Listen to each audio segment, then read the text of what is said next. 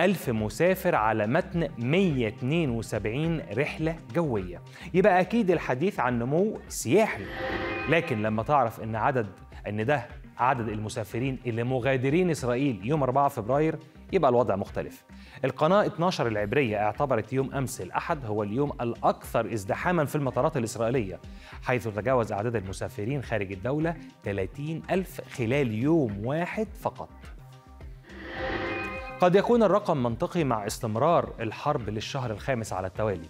لكن لو ربطنا الأحداث وإن الهروب ده بيتم بالتزامن مع اشتعال الشارع الإسرائيلي الأمر هيكون مختلف. الداخل الإسرائيلي مشتعل بسبب الصراعات في كواليس الحرب سواء بين أعضاء مجلس الحرب أو أعضاء الحكومة فيما الشارع ملتهب بين مظاهرات المعارضين لنتنياهو وأهالي الأسرة وبتشهد احتجاجاتهم مواجهات واعتداءات من قبل الشرطة الإسرائيلية ومقاطعها بتنتشر على السوشيال ميديا وبتثير غضب واسع جداً.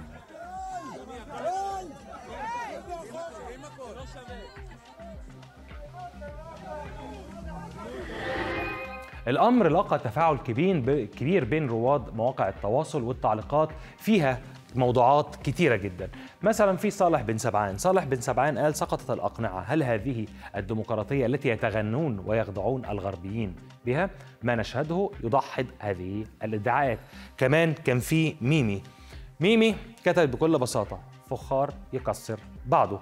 كمان حساب باسم بينجرو وورير من قبل من قبل المواطنين الإسرائيليين الشرفاء.